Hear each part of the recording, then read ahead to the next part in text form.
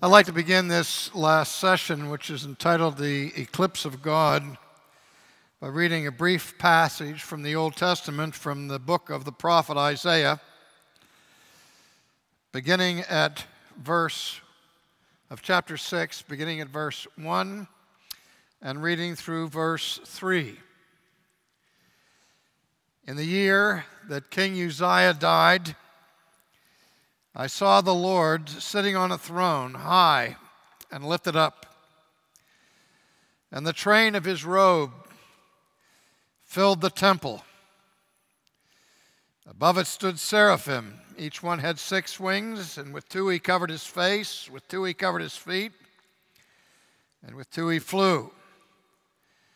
And one cried to another and said, Holy, holy, holy is the Lord of hosts. The whole earth is full of his glory.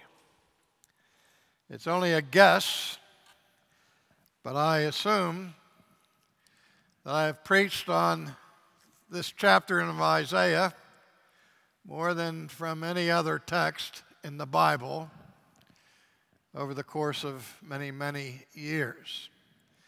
And normally, when I look at this text, I focus attention on the manifestation of the holiness of God and the response of the seraphim to it, and also of the prophet Isaiah to it. But this afternoon, I'm going to look at a, an aspect I rarely make, make much mention of in those discourses which I will do, God willing, as soon as we pray. Let's pray. Our Father and our God, now as we contemplate the hiddenness of your glory from our sight in this day, I pray that you would indulge us with your mercy by granting us the illumination of the Holy Spirit of truth. For we ask these things in Jesus' name. It was quite a treat, for me at least, to hear Dr. Morales go through those marvelous texts of the Old Testament showing the significance of the tabernacle as it related to Eden, and then pushing forward to the incarnation in which the Lord Jesus tabernacled or pitched his tent, as it were, among us. And when Dr. Morales spoke of the Old Testament tabernacle and the Shekinah and the cloud and the glory, he used one word very frequently in that address. Before I tell you what that word was, I'm going to suggest what it wasn't first. When he spoke of the glory entering into the tabernacle, he didn't say that the glory of God touched the tabernacle. He didn't say that the glory of God entered the tabernacle or merely visited the tabernacle or simply hovered over the tabernacle, but the word that he used frequently was the word filled. When the glory of God came and the cloud rested over the tabernacle, and the glory entered the tabernacle, it filled every cubic inch of that place of meeting. So that if one entered into the tabernacle, they were immersed in the very presence of the glory of God. Now, as I said a moment ago when I read from Isaiah 6, that my focus on that text is usually elsewhere this afternoon. I want to look briefly at this one verse. Holy, holy, holy is the Lord of hosts. semicolon. The whole earth is full of his glory. So that not only was the glory of God filling the tabernacle in a special redemptive way, the glory of God was present beyond the tabernacle, filling the whole earth. What an incredible concept that the glory of God fills this entire planet. The earth is full of it. You can't take a single step without being immersed in the fullness of the glory of God. And yet, we live in a time where people say that the human experience of our day is not a sense of the overwhelming presence of the glory of God, but that contemporary humanity has a profound sense of the absence of God.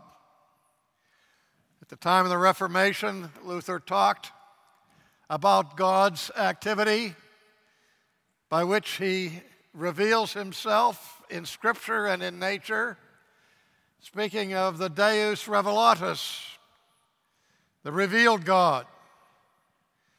But he also says that where God reveals himself, he doesn't reveal everything that he could possibly reveal about himself all at one time, but that there is an addition to the Deus Revelatus, what Luther called the Deus Absconditus the hiddenness of God. The word absconditus is brought over into the English word abscond. And when somebody embezzles funds from the bank and they abscond with that money, that means that they run away with it and they go into hiding. Because they don't want to be caught or captured or to be found with their hands stained with the guilt of stolen money. Now, there are those bank robbers who are not so bright. I heard one who absconded with the accounts payable.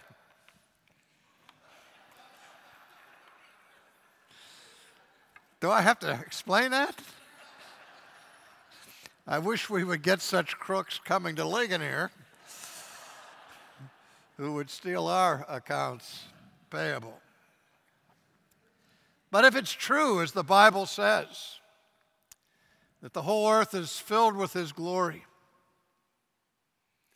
why does anybody ever experience a sense of the Deus Absconditus? of the hiddenness of God. Why does it seem that His presence is absent from us? Why should somebody have to go to New York, to Niagara Falls, to catch a glimpse of the glory of God if the earth is full of it? Now, let me suggest a couple of reasons to explain this seeming paradox. Back in the middle of the 20th century, a Jewish philosopher by the name of Martin Buber wrote a book entitled The Eclipse of God. And in that book, this one who's the first to coin the existential phrase of an I thou relationship with God explained that the dilemma and the predicament of modern humanity is this profound sense of the absence of God, whereby God is not plainly in sight. And I thought it was an interesting metaphor that he chose to describe that situation in terms of an eclipse. Because you're all familiar with what eclipses are in nature. We experience two kinds of them on a regular basis. We experience lunar eclipses and we experience solar eclipses.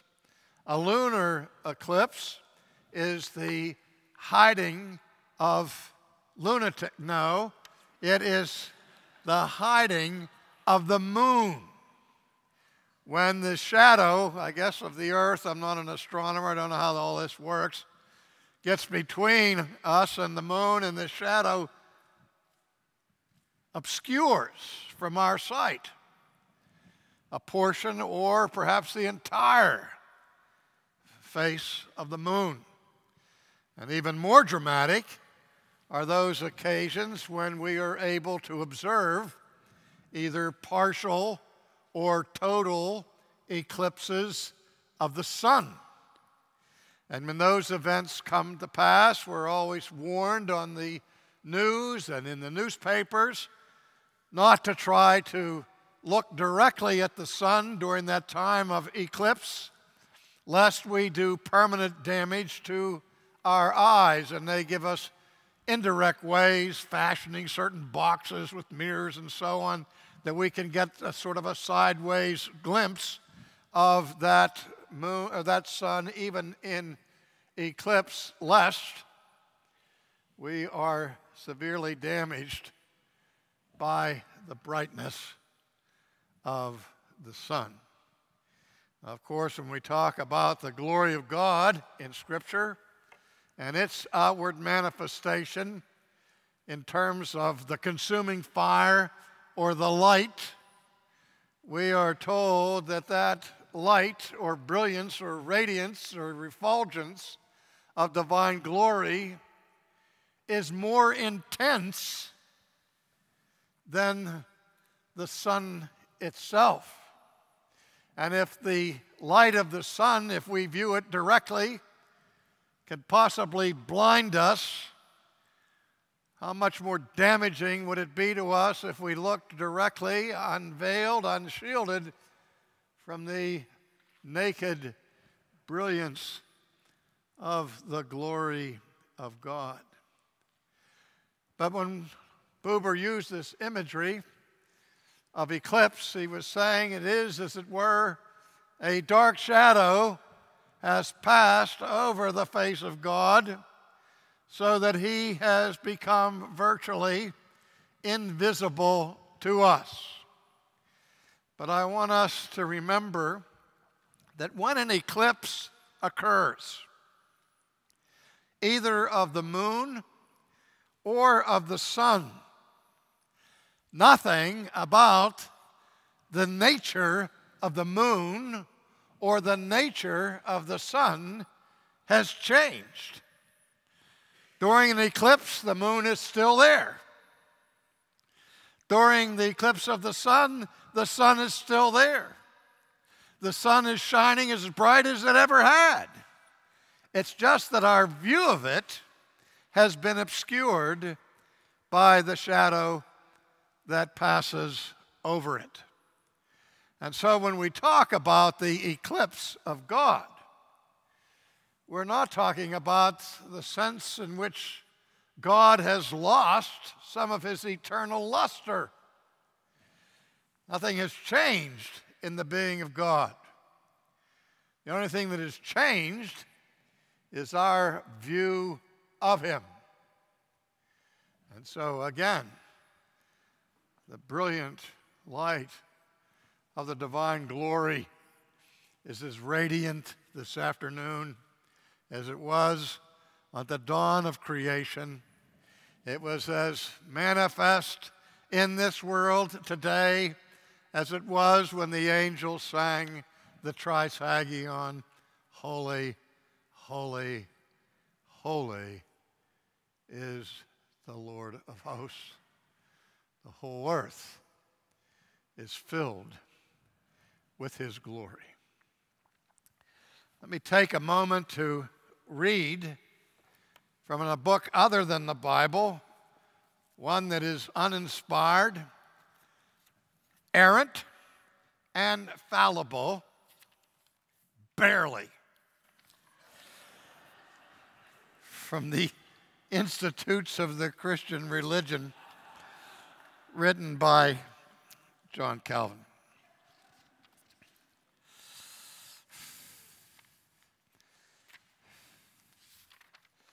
First of all, Calvin writes in the fifth chapter of Book One these words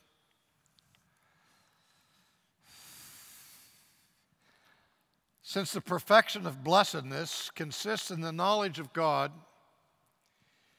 he has been pleased in order that none might be excluded from the means of obtaining felicity. That's unbridled happiness.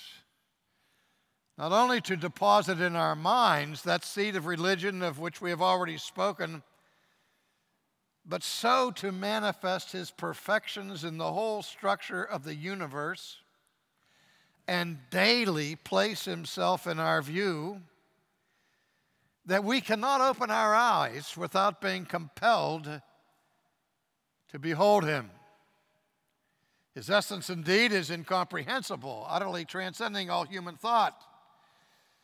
But on each of his works, his glory is engraven in characters so bright, so distinct, so illustrious that no one, however dull and illiterate, can plead ignorance as their excuse.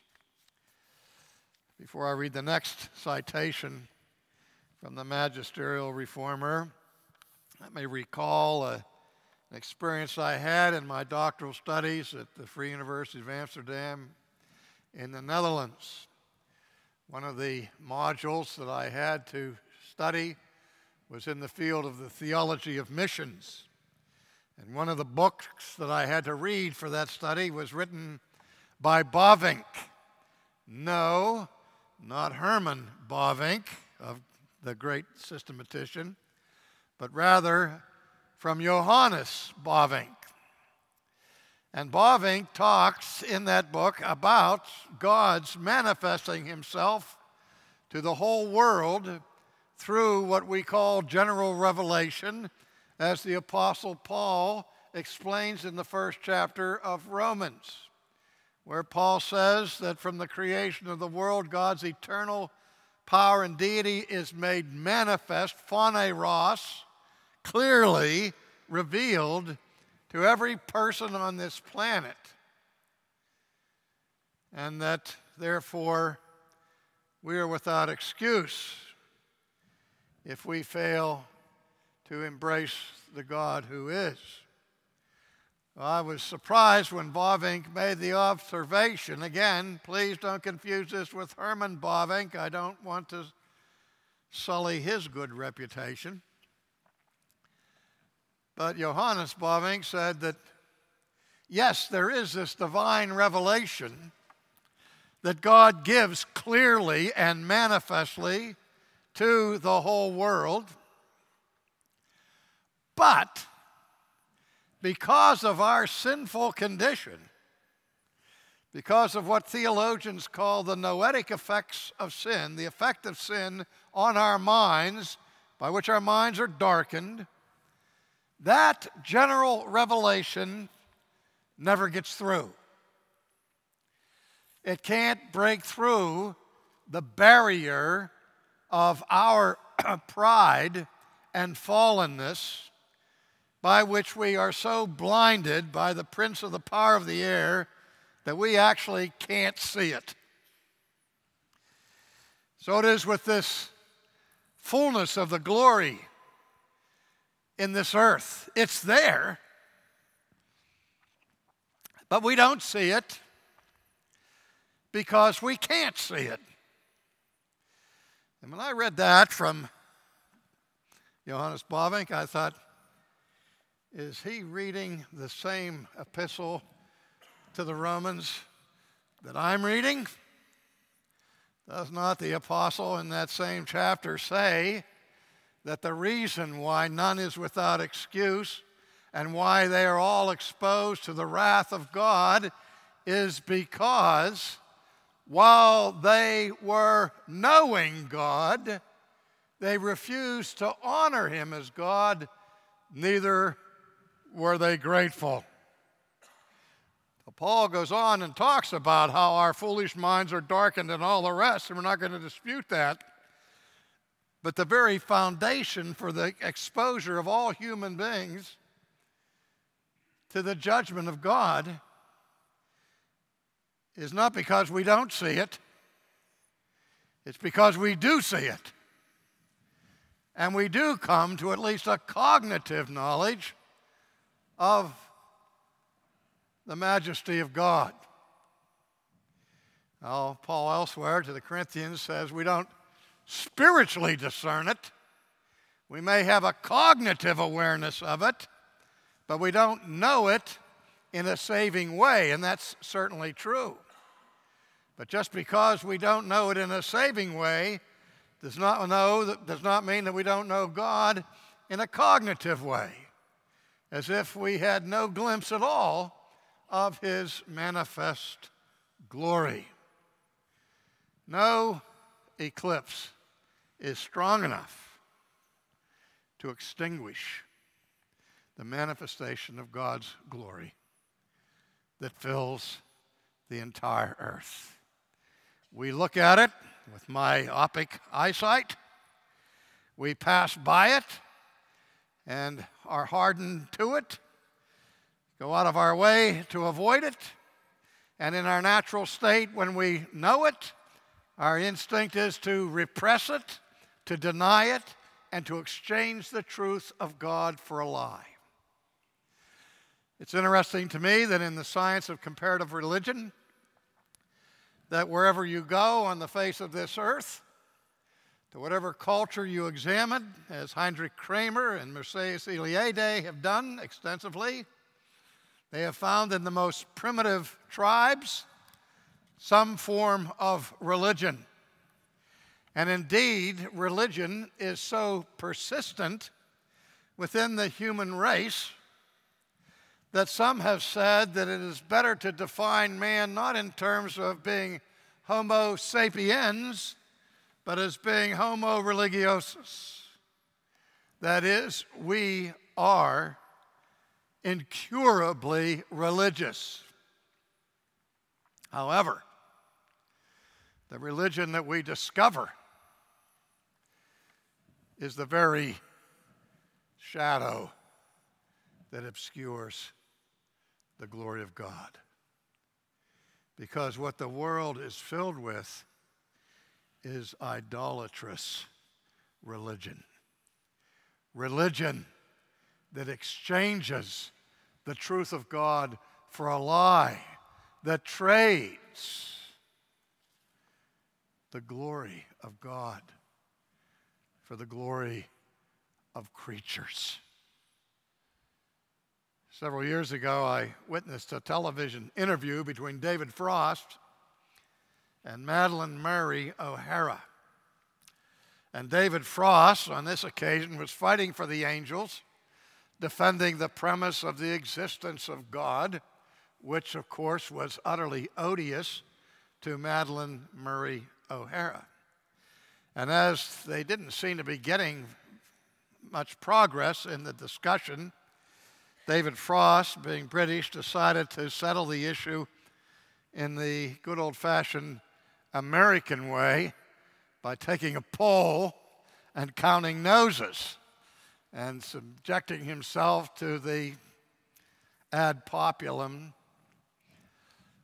informal logical fallacy. But he turned to the studio audience and he said to them, How many of you believe in some kind of higher power, something greater than yourself, some kind of supreme being. And every single person in the audience raised their hand. And David Frost turned to Madalyn Murray O'Hair and kind of smugly smirked at her and said, See? Now, at this point, Madalyn Murray really shocked me by her response. Here's how she offered a rebuttal to David Frost studio poll. She said, Well, what do you expect from the hoi polloi? These uneducated imbeciles that are, you know, and she just attacked the intelligence of those who voted for the existence of God. That's not what I expected her to do. I thought she would be more sophisticated. I thought she would have turned and said, Well, you've answered his question of how many of you believe in God in terms of some higher power, supreme being, something greater than yourselves? What are you talking about? Cosmic dust? Atomic energy? Some higher power, dynamite that you believe in? Let me ask the question a different way. Let me frame it. How many of you believe in Yahweh? The God of Israel, the God who seeks to bind you absolutely with his law and threatens you with eternal hell fire punishment if you don't embrace Jesus as the only way of salvation. She didn't ask that question. But I wonder what the vote would have been if that supreme being or higher power had been given a biblical identity. Because as soon as the identity of the God of all glory is made manifest, then the work of idolatry begins in earnest. It was Calvin who said that fallen humanity is a fabrica idolorum, an idol factory. We don't just have a few idols, handmade out of stone or wood, but we are now sophisticated enough to be engaged in the mass production of them. Back now, if we may, to Calvin. I'm reading a passage now from chapter 5 in book 1 that is a very famous citation from Calvin. You know, sometimes it drives me nuts when I, I write a book or try to write a book and submit it for uh, publication, and the editor comes back and sees that I've quoted Luther at such and such a place, and they say, Where is that quote? and I say, Where's that quote? How many thousands of pages of Luther have I read and I know Luther wrote that. I know it as well as I know my own name, but I can't begin to tell you where. And Vesta came with me the other day. She's helping to proofread a, a new expository commentary on the Gospel of Matthew, and it's like 750 pages long, and the publisher sends it for our you know, they give flags of asking questions, and I had quoted Herman Melville in that manuscript where I said Herman Melville once said that it's not until we understand that one grief outweighs a thousand joys that we will ever learn or become what Christianity is trying to make us. And the publisher says, Give the source. I think I've read, oh, there's one of the South Sea adventure stories of Melville that I didn't read. But I've read the entire Melville corpus, and that was 50 years ago. Okay, Vesta says, Where's this quote from? I said, Well, it's not from Moby Dick. I said, I think it's either from Billy Budd or Redburn. But I don't know which, and I couldn't begin to tell you where. She said, Well, how are we going to do this? I said, Well, I'll see if I can look it up on the internet. The internet is like that guy behind the screen in The Wizard of Oz, it knows everything, right? I'm just starting to learn how to do this stuff. I actually Googled something, Chris, believe it or not. Yeah, the sky's falling. I, and I put in my Google, Melville quote, and then I wrote the quote. You got it? And what comes up but a reference to famous Melville quotes. And there's my quote. I said, Eureka, there it is. Now, where is it in Melville? Google didn't give me the source. Can you believe that? They, re- they cited the same quotation, but no matter what I looked for, they wouldn't tell me where it was from. I said, honey, I wrote a senior paper on Melville back in 1961, over 50 years ago. And if I if my memory serves me right, and it usually does, I say, I think I quoted that quote in that paper.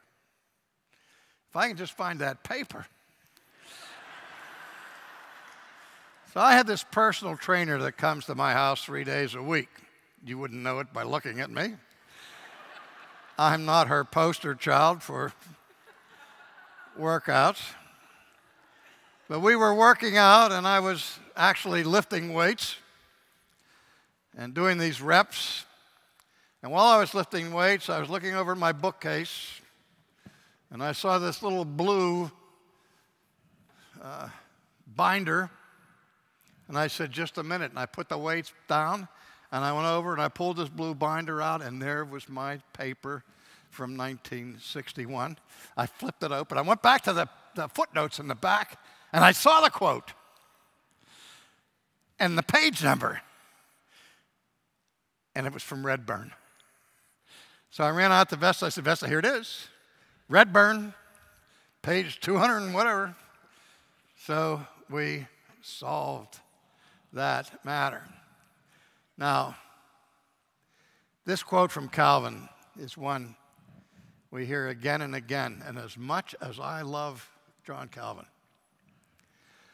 and even if I question him today, as my professor once said, there's nothing I can say about Calvin today, good or bad, that could possibly destroy the felicity that he enjoys in heaven right now. So I can't be offending him if I question this citation. But let me read it to you, and then I'll tell you what my question is.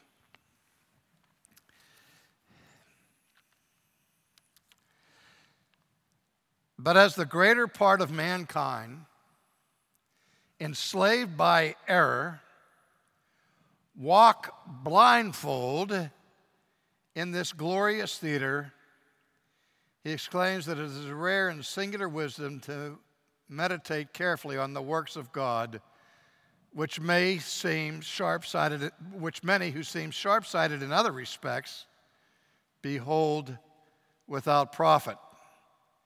It is true that the brightest manifestation of divine glory finds not one genuine spectator among a hundred.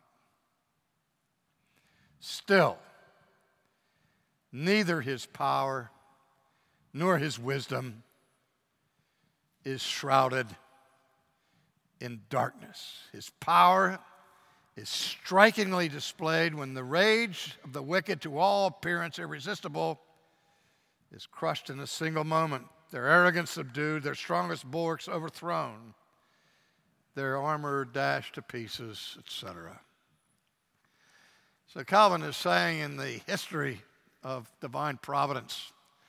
In addition to general revelation, God has so clearly manifested himself, just as the Apostle Paul said, that the universe itself, as the psalmist says, the heavens declare the glory of God, the firmament shows forth his handiwork, that this universe Calvin describes as a glorious theater. It's not like God has hidden clues behind rocks or in the dirt, waiting for some brilliant erudite theologian to discover these clues of his glory. No, no, no, no. It's a theater filled with the glory of God. Not one in a hundred sees it. Because Calvin says, man walks into this theater and through this theater blindfolded. Blindfolded.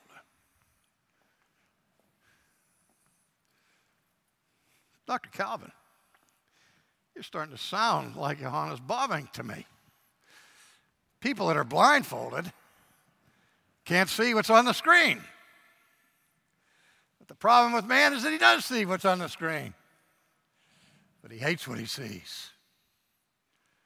And nobody taught that more vividly than John Calvin.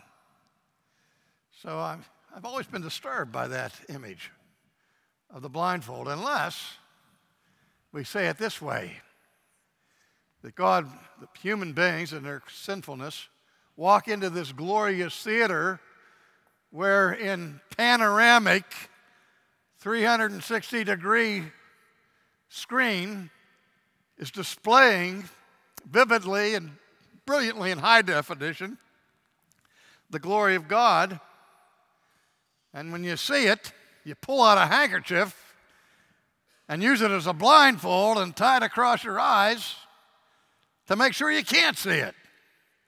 Now, if that's what Calvin means about people walking blindfolded through this glorious theater, I have no quarrel with the master from Geneva. And I think if he were here today, he would agree with what I'm quibbling over here. Because Calvin knew as well as anybody that that general revelation got through.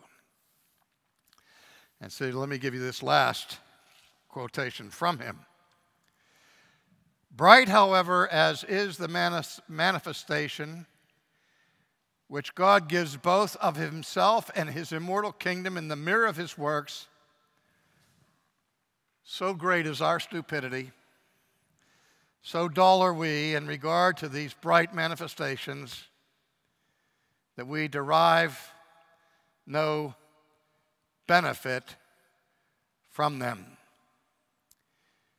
We don't look at him, but rather overlook him.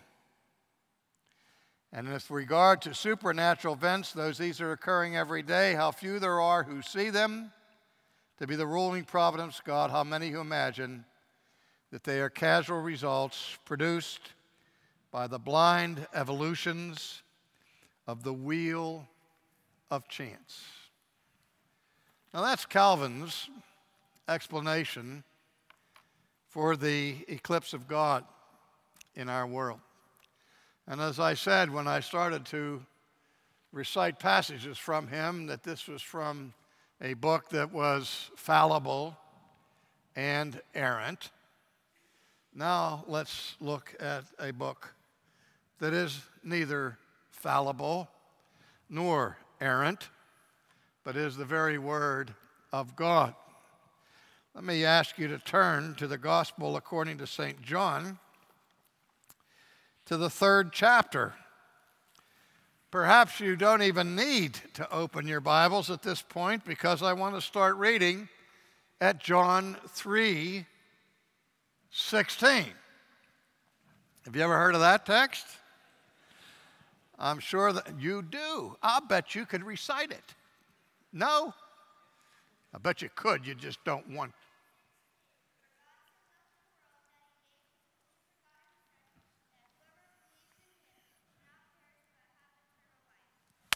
A plus. Now, do you want to take that A plus and go home? Do you want to take the A plus that I'm giving you and quit now? Or would you like to continue on and try to get an A? plus plus?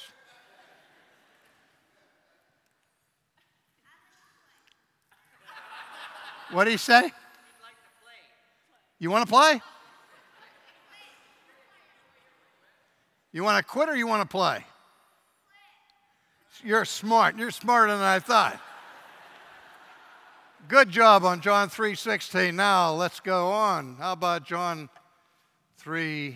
3:17?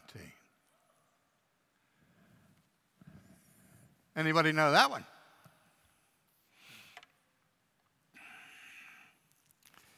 I'll help you. For God did not send his Son into the world to condemn the world, but that the world through him might be saved. This is good news, isn't it? Okay, let's go to 318.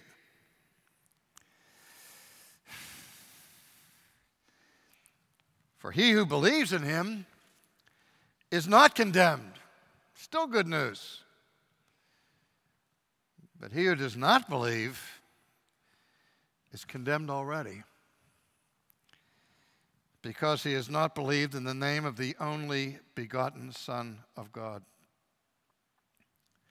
Now, John introduces the terrifying notion of divine condemnation into this section of the good news. But he doesn't leave us asking, why, really, this condemnation? Because he answers his, his own question by saying in verse 19, this is John 3 19. And this is the condemnation that the light has come into the world. But men love darkness rather than the light. This is the condemnation. That glory of God that shines in this glorious theater, that is seen most brilliantly in the incarnation, that light came into the world.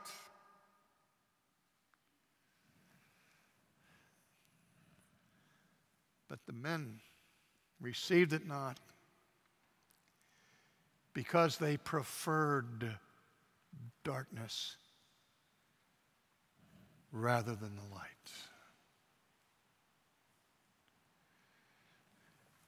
One of my favorite stories written by Herman Melville is a little short story called Bartleby the Scrivener.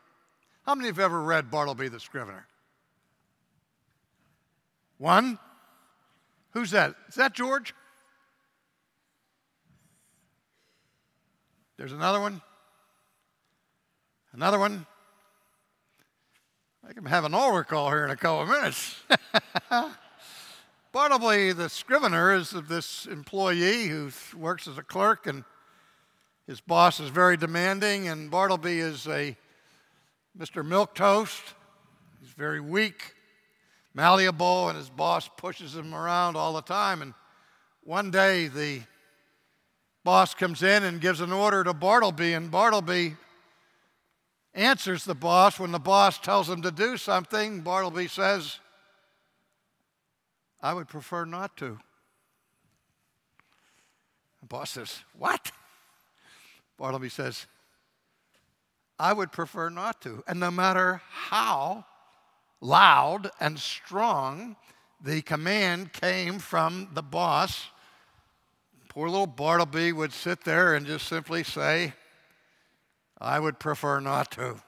I'll never forget that because we were given the assignment to read it in this class I was taking in American literature. And on the next day, when we came to Bartleby, the professor looked at me and he said, Mr. Sproul, would you give us your analysis of Bartleby the Scrivener? And I didn't hesitate. I said, I would prefer not to.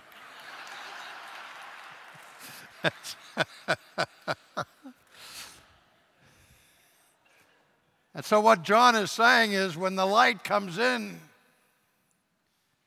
in our fallen humanity, we have a preference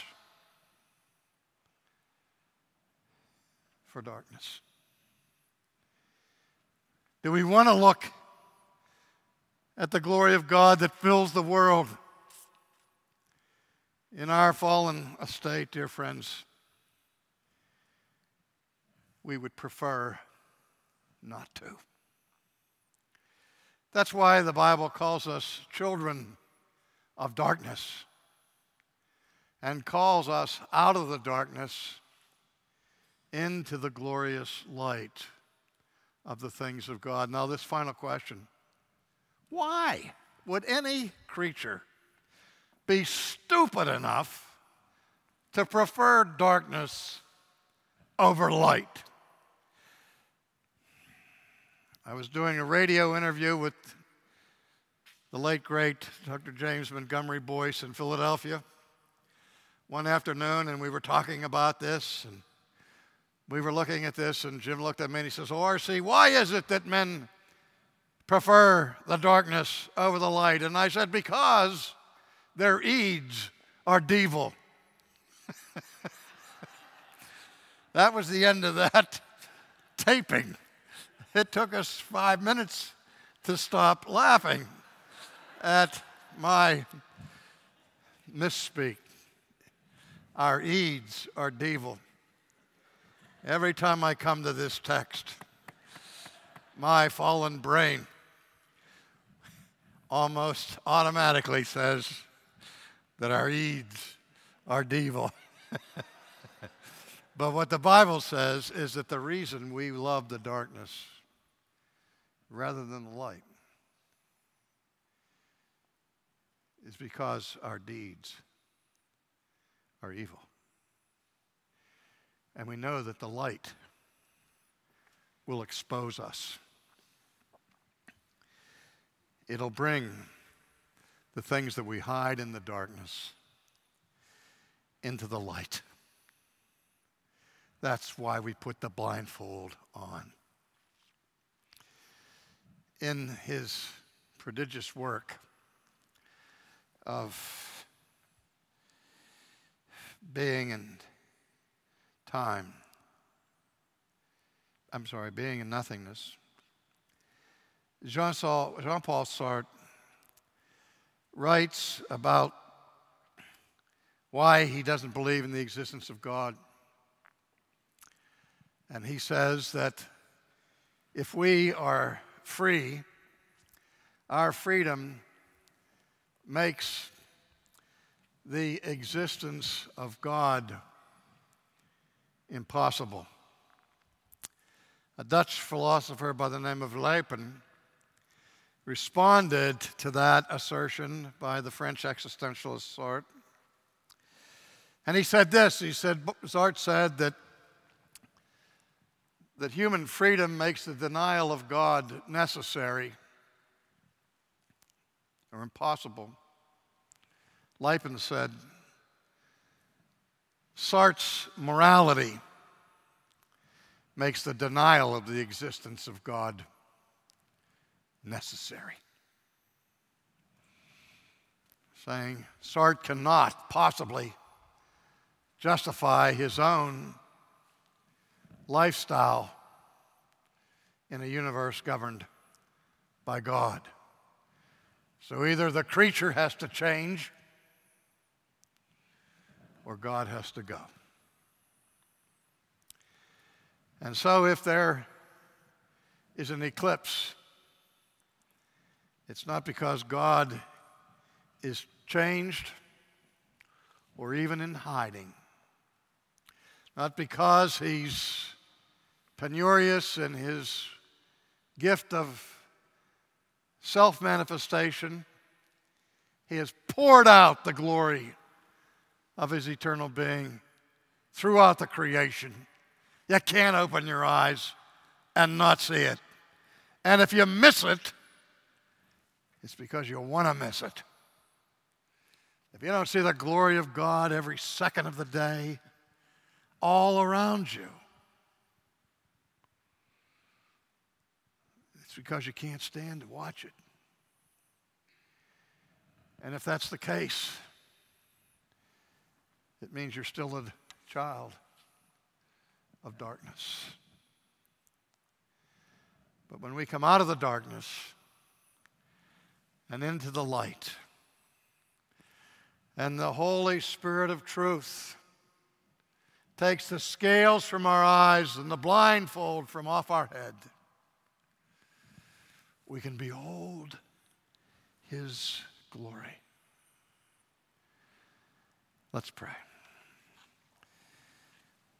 Oh, how glorious, O oh God, are your works, each one of which redounds to the glory of your being.